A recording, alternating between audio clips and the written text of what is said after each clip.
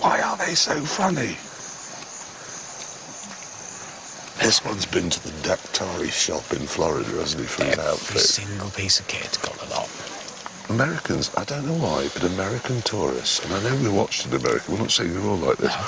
but when you travel, You're you're hysterical. Sadly, the Americans departed, leaving us with nothing to look at except some hippos. So we got back on the road for the last few miles.